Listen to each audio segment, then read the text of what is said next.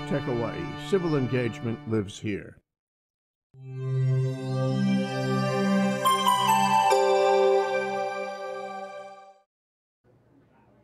Happy Aloha Friday, friends. My name is Rachel James, and I am filling in for Stan Osserman on Stan the Energy Man this Friday. And today we will be talking about too much solar, which is a little bit crazy to think about because we live in Hawaii and we love the sun, so too much of it sounds like a wild thing. But if you put too much solar on your electrical grid, things can happen, and not always great things. Um, so today we have our good friend, Ryan Wubbens from Burns & McDonnell, who is an electrical engineer. Ryan, welcome. Thank you. You're welcome. Okay, so we're going to jump right into solar. Yeah. What would you like to tell me about what happens when there's too much solar? Solar. Too much solar, yeah, when you're here, you think, I, I just want to have all the solar I can, but we understand. I, I think people here are getting used to the idea of too much solar because of the limitations geographically on who's available to to add solar on their on their house. So mm. people are, are kind of they have an idea of what this means, but that's more so from a transmission line and power quality issue. Um, when you think the 2045 goals of, of getting all the way to, to 100% renewable, mm-hmm. the transmission, the, the congestion on the transmission lines, let's just say we fix it. Um, it's not just as simple as that, but let's just take that out of the equation. Okay. We can still have too much solar. Um, when you convert the, think in the mainland terms of when you start producing a lot of solar, because mm-hmm. Hawaii's not a, a massive solar producer from a from a gigawatt standpoint. Mm-hmm. That's when we got to go over to California. They they have a lot of solar. Arizona, Nevada, the, similar the desert regions. They have a lot of solar. When you start producing too much, what that means is whenever power is consumed, it instantly has to be generated. There's okay. no delay. There's no warehouse that we can have somewhere. There, there's, you know, we can talk batteries and, and energy storage in another sense. But when, when we turn the lights on at your house, that is a little extra power. It has to be made instantly. It's always consumed at all times. Okay. When you think about a whole country or a whole state, that, that still holds true. So if you have a whole part of your country that's producing too much solar, you either you got to do something about it because if there's not an extra light switch being turned on when that solar is being made, it's got to go somewhere. It just can't sit on the transmission lines. Mm. What happens in some cases in California is they are actually paying other states or other what? regions. They're paying them. Say it ain't so. To take their power. So California says, if you're my neighboring state, I'm sitting here, I'm like, hey, I'm, I got a lot of solar, I can't turn it off fast enough. Rachel, will you take my solar? And I say, if you pay me $25 per megawatt hour, I will. Exactly. So I'm, I'm paying to get rid of power I've already paid to produce. Wow. So I'm paying on both sides. Cheese and crackers. Yeah, so it's not a great position to be in when you have too much. Okay. This also has happened in Texas, different electrical market, and, and not solar, but they have a case where they have too much wind. Texas is in a way its own grid. They, they operate differently. Um, their, their wholesale and their retail markets are flipped in a way, but that's a whole other really cool argument for another time. But it's Texas. It's Texas. Texas has so much wind that there are times when at night that they're producing so much wind, it's, a, it's essentially free power. So I did actually take a page from your book um, and saw a little bit that they are actually advertising on billboards that there's free power in Texas. Free power in Texas. What does that mean to you in terms of what can happen in Hawaii? Like, what are we? Are we are we at risk of getting to a free power place? We're not necessarily at risk of getting into a, free power. So uh, solar and renewables are great in that, in, in a sense, they approach the the cost of producing power, the marginal cost of producing power approaches zero because after you pay for that solar panel over time, the power that the sun that keeps hitting it is essentially infinite. It always it's always there, but you're not changing that solar panel. It'll degrade over time, but what it means is by the time your solar panels are paid off, mm. it's free power, and so everything after that you're already producing free. When a state has that issue, maybe you're shutting your own. Um, if you're ever an exporter, so if the state is an exporter, we can't pay Nevada to, to right. take our power. We can't tell everybody that um, you know, hey, there's free power. You should start just using it just for fun. We will get into a case where there's a lot of extra solar, but we don't want to just be using it just for fun, Okay. right? We need to be doing something proactive with it. Um, are we in a place where we have too much solar right now? Would you think we're in that case? Are we? Are we nearing free power? My little community energy heart is saying free power doesn't sound so bad, but I understand your technical perspective. but like from we're people not- perspective, We're not to a free power yet. Um, we're definitely not. I think the the goal, if even a 2045, it's not a free power. Um, if if you're 100% renewable, that that will come much later than the 2045 okay. um, or the 2040 if the, the latest schedules are, are, are made. So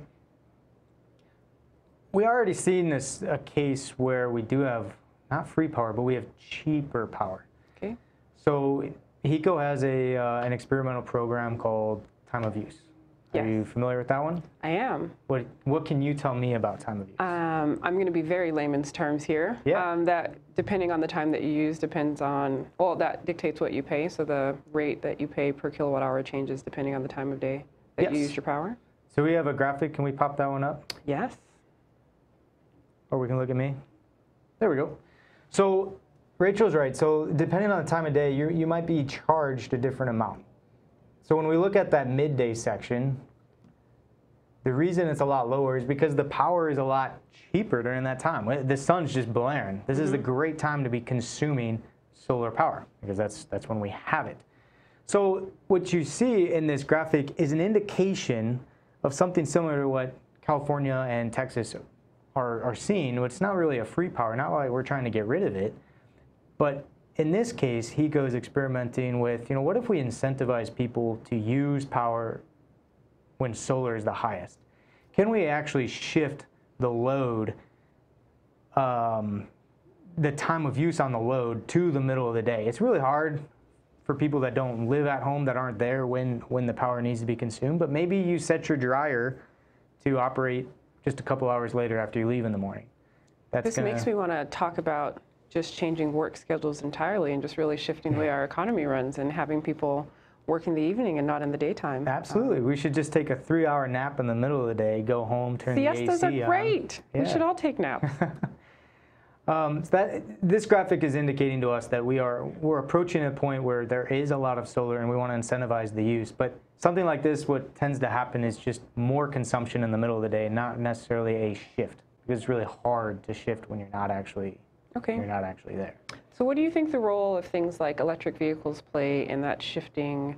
I mean, as we move to an electric transportation system, um, the presumption is that there'll be at least a large amount of battery charging happening on buses and, um, I mean, even people go whole scale to personal vehicles and they go to electric plug-in vehicles. Like, it, there seems to be a presumption that you could shift some of the time that that charging is happening or that load. There, there is the assumption that you're going to be able to charge at the right time, it's, which is not always true because you're actually traveling at the time that the sun is up and that solar is being produced. So, yeah, when you're at work, you might have a charging station that is on a- based on a time of use program, and you're you're going straight from the sun to your car.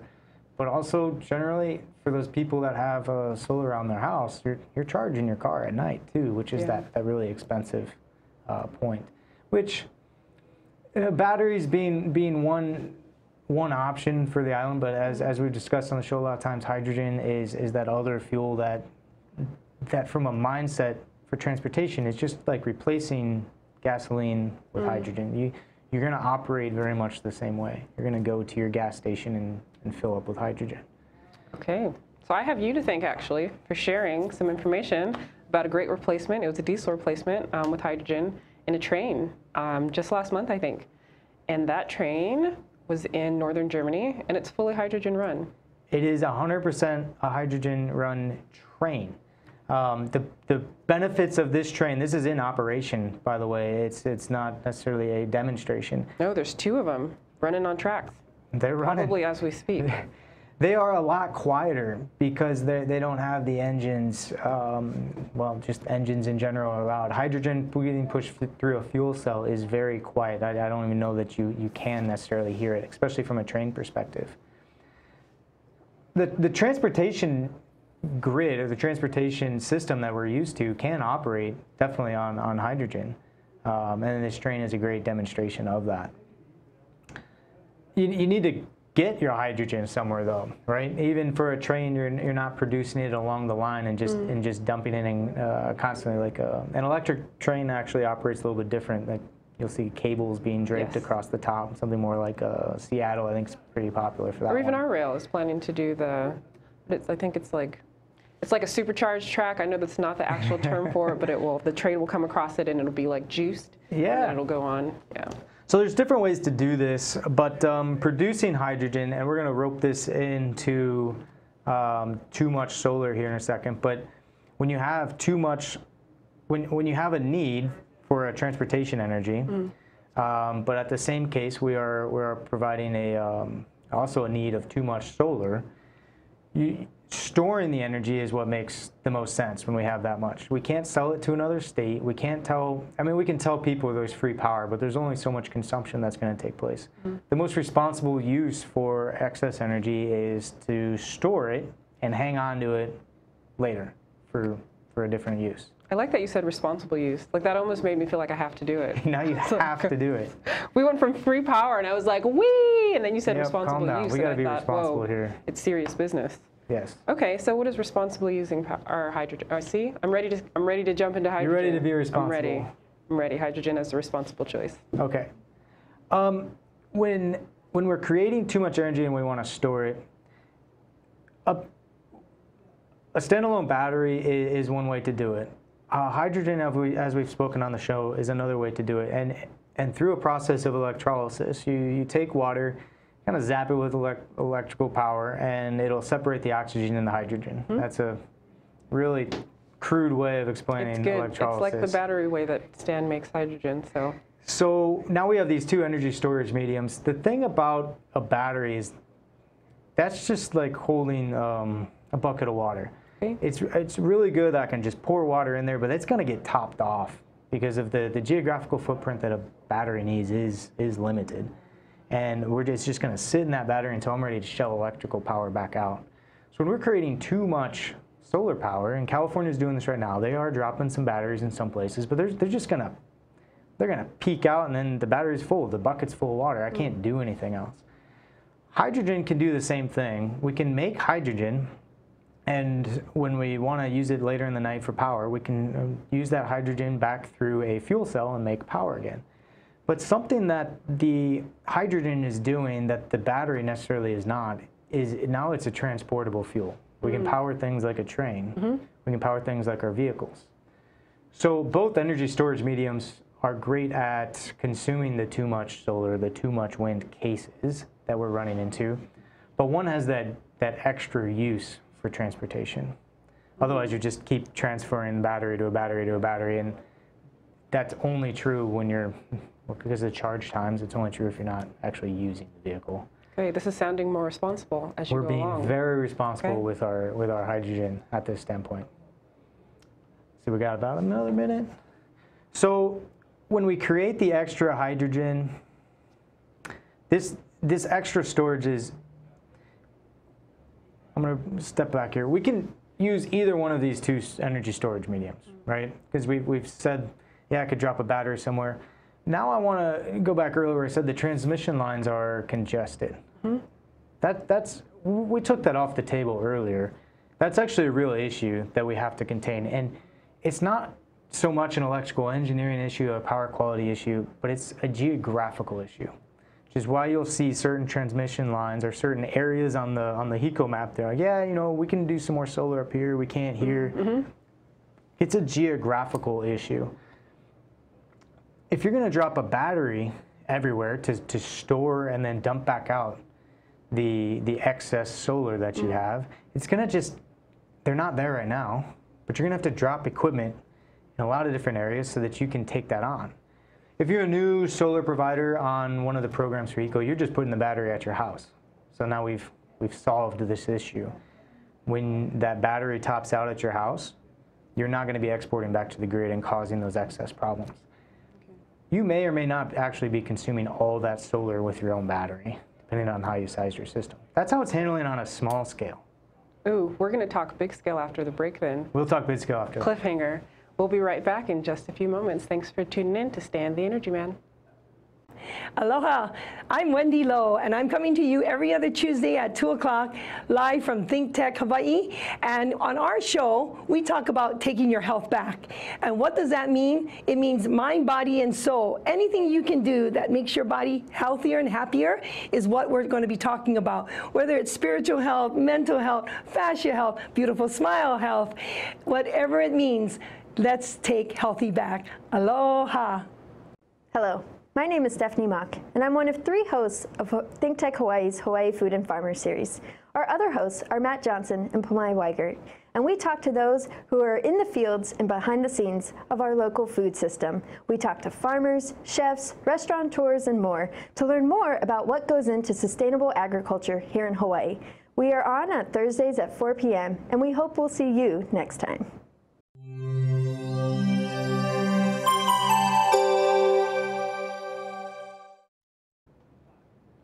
Thanks so much for staying with us. We are back with Stan the Energy Man. My name is Rachel James here on Think Tech Hawaii, and I've had the pleasure of speaking with Ryan Wubbens, electrical engineer from Burns McDonnell, for the past 15 minutes or so. Um, at that time, we left him on a cliffhanger. We were talking a little bit about solutions, we were talking about responsibility, we were talking about too much solar, and then we were talking about geographic concerns. You summed it up really well, and, and we left him on that big cliffhanger. Like, so we have a geographical issue of too much solar, and we're already starting to contain that issue by saying, all right, if you're putting rooftop solar in your house, put in this extra battery, and now we've contained that too much solar to the essentially your property within itself. But I still might be getting too much solar within my house, and what am I doing at that point? I'm probably the, the system that you have is curtailing the solar. It's not mm-hmm. going to export which is good because we have a geographical issue in that area that there is too much solar on that, that T line. It might not be caused from you, but so there's chances, uh, likely chances, that we are curtailing solar on our own houses, even though. How are we curtailing? Just this is my little plug to talk specifically what's doing that function. How, how, it's all happening for you. The, the, the approved programs and the approved inverters on your house are already programmed to, to curtail the solar. Solar So this you. isn't a thing that like me as a homeowner with my system, I'm deciding. You don't have like a little dial you're turning Okay. on and down. Um, it should be pretty neat for me. I would love that, but yeah, it, it's all happening for you. That contained you to your, your property limits, but now you're the one buying that battery, um, which is expensive. They, they, they cost a lot of money. It doesn't mean it's not worth it for you because you're shifting your own power that you're producing to your, your nighttime loads, which is Okay. great. But that's a cost that you have to take on. What I want to propose or just throw out there in kind of pie in the sky type of application is when we talk about the energy storage mediums, hydrogen can replace gasoline, diesel in its in its application for vehicles. But now think about it from the gas station standpoint. All the gas stations, let's just say, were hydrogen stations or had hydrogen available. That's the utopia of gas stations. That's the utopia of gas stations. That's where they're all wanting to be. Hydrogen, because of electrolyzer, mm. can be produced on site. So your gas station doesn't have the big tanker coming in. Okay. I mean, they may with, with hydrogen, but it can be produced on site. Mm-hmm. That creates a load on the on the electrical system, just like a battery would. To create hydrogen, I got to zap that water with power and to make that separation when all the gas stations are converted to hydrogen, they all have their own uh, electrical fuel cell. Now we have this geographic network of load. Today, none of us really see any difference. We don't see those giant stacks of batteries and say, oh, yeah, that's our battery. You're just going to see fueling stations. Those fueling stations, then, you would connect into the grid. Hmm. You'd give that control back to HECO and say, hey, when you think you have too much solar, start throttling your, your fuel cell, your, your hmm. electrolyzers based around the island as you deem we need. And now you're just shelling out a bunch of hydrogen because you hmm. have too much solar. Okay. You do two really great things. You're not forcing batteries on, on a bunch of people that maybe can't afford them. Mm-hmm. And at the same time, you're producing a transportable fuel very cheaply. I mean, theoretically, it approaches zero, but that, that's not going to happen. But in the time of use program, mm-hmm. that's a that's a much cheaper hydrogen to make than at mm-hmm. night. Mm-hmm. And in, in grid restoration times, we could start putting fuel cells at the, the fueling stations too, and they could even um, power back the community if it was a, a smaller microgrid and, and you just want to isolate. So if I'm out in Kaaawa and people are hitting power lines with their vehicles like they love to do all the time, I don't live there, but I didn't know that was a thing. uh, all Good the time. It's, Okay. it's a big hobby of us on the windward side to Gotcha. hit those poles. So the 7-Eleven, if it were a hydrogen fueling station, could also be a fuel cell powering back into the grid. Maybe Kaaawa just says, you know, it's nighttime, but we got our hydrogen station to power us all up, and um, until the T lines get uh, reestablished, the gas station is actually powering up Okay. the town. So it's, This is sounding possible. very community energy-esque. It's also Okay. sounding a little bit demand response-esque. Mm-hmm. So in theory, let's say we're taking the gas station in Kaaawa and the surrounding community. Well, it's a hydrogen station now. hydrogen gas doesn't- it doesn't have gas Excuse me. I was in my utopian gas place. but yes, hydrogen gas station Yeah. in Kaaawa. And let's say the surrounding community within X amount of radius from the station um, buys into the station and buys into a microgrid infrastructure. And there's a demand response program or a time of use rate program, but essentially a program that allows this station to interact with the grid in a way that does some load balancing. Like, does that sound like a possibility, or is that, or we're in pie in the sky, but is that too much pie? Yeah, uh, it's not too much pie.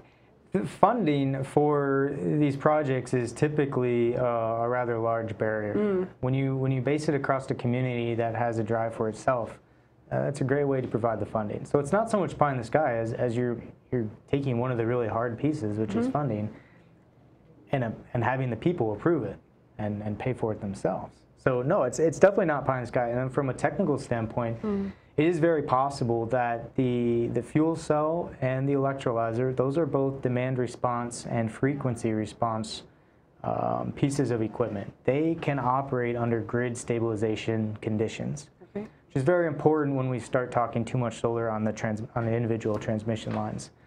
Uh, from a microgridding standpoint, generation is, is one of the key um, pieces of equipment that you need to create a microgrid. I, I can open up uh, the, the power lines on either side of Kaaawa, but now I need a generation asset within the within that microgrid. So it's very possible because you're, you're tying in the power quality control devices, which would be frequency response, demand response. Um, demand response could even be load response. That's kind of what we're talking about with the hydrogen stations. You get all of those pieces together, and then you, you also tie in the, the smarts needed on the inverters at your house. And technologically, pie in the sky, it's pie, good on the table. We've It's like taken it out of the sky. pie. Okay. We can, we can have that now. So you said something that um, I didn't know there was a difference. Like I, you mentioned a differentiator that I'm unfamiliar with. You mentioned load demand and demand response, or you said something, but you differentiated kind of that there is a difference. I'm unfamiliar with that difference. Do you mind explaining? So demand response is a program right now that'll call upon a an individual um, generation asset. Okay. So another way to deal with, in this case, too much load, um, is to turn on another generation asset and negate that load. It's not so much a too much solar condition as a too much load condition. There is a technical too much solar in there, but let's. I don't think we have quite enough time for that one. So demand response just says, you know, I, I'm having trouble serving in the power in this area, but if I turn on that generator with my demand response program, um, the utility sees a drop in load because the generator is serving that. Okay. When we have too much solar, I'm talking about more of a, uh, it's the opposite of demand response, like a load response, where instead of dropping a giant load bank or selling power to Nevada or offering free power to, to Houston, is is turning on your fuel, your electrolyzers and all your fueling stations and saying, start making a whole bunch of hydrogen because we got a lot of sun right now, and I just I really want to bring that load back down. Um, that's where you want to get instead of individual houses curtailing their own little solar. Let's capture and use all of it, and that's what's going to help us get to, to 2045 is is using and storing all of our renewable assets that we have available to us. That's sounding very responsible. That's when we're responsible. Responsible in utopia. That's a good thing. Um, I do want to talk a little bit about um, just. So we're talking, we're fully bought into hydrogen. This sounds like sensible. It's responsible sounding, but we're still in like a very battery-centric mm-hmm. ecosystem. So what's that about? We're still in a battery system because there are political motives and there are technical motives behind that as well. A battery will still provide a very high efficiency rate. That, that's going to drive a little bit of the separation, but it's different uses. A battery versus hydrogen, as hydrogen develops more and more, the, the cost of that technology will come down. Mm. The round trip efficiency will have just science battling it to, to keep on shaving out as much of the margins as you possibly can. The reason we're there today probably is just that it's cheaper today. Um, Isn't that kind of how we got here in the first place? Like oil was cheaper today at some point, and so we're in this mess. yes, and, and oil still is cheaper today. It's, Mm. it's really hard to battle. Uh, there's an there's an equation. There's a great picture of the, the two battling. Yes, excellent. Oil has an energy rate of return somewhere between 50 and 100. So if I put in a little bit of energy to get some oil, I might get 50 to 100 times back out. So mm. it's going to be cheap, but that doesn't make it responsible, Ooh, right? this It's the big R word. Mm-hmm. Batteries will have the same effect with the with the amount of uh, the different chemical makeups that we put in batteries. There is a level of responsibility that we have to deal with those uh, from a recycling program, and there's a little bit less, or there's a lot of it less dealing with hydrogen. Uh, a fuel, a few materials needed to make some of those parts, but we're way down on the on the uh, way way higher on the responsibility chain compared to where we were um, with the other two options. But it's a it's a bit of a mindset when we when we watch Japan change over to hydrogen. Mm. That's going to be a, a massive market shift and, and a different understanding of the capabilities of hydrogen. Mm. You'll see stuff like trains. You're not going to see battery operated trains because the from a transportation perspective, hydrogen has a lot more capabilities. Right. It is it's just a much more powerful transportable fuel mm. than a battery. So when you deal with these little cars, yeah, little cars can toy around with batteries all the time, um, and they're they're they're cheap and easy to make. But over time, the hydrogen is the that is the better fuel, and it'll win. It's just going to take some time to to get that rolling. You'll I see like this ending with the winner winner chicken dinner. Well, Hydrogen will win. You'll start to see uh, major manufacturer competitors with like uh, the higher transportation, trains, buses, uh, semi trucks. That, that's a massive market for the United States, and I'm.